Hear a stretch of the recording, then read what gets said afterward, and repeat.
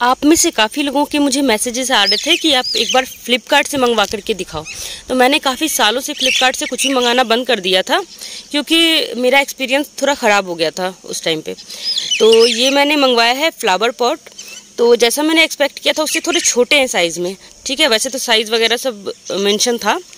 तो ये जो है मतलब कलर थोड़े से लगा है मतलब उसमें सारे पॉट के ना पेयर्स थे, इसमें पेयर्स नहीं है, सिर्फ़ एक ही का पेयर है।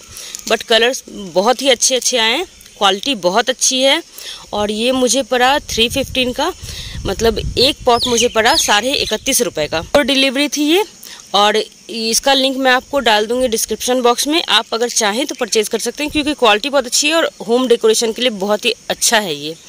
तो आप इसे ज़रूर ले सकते हैं।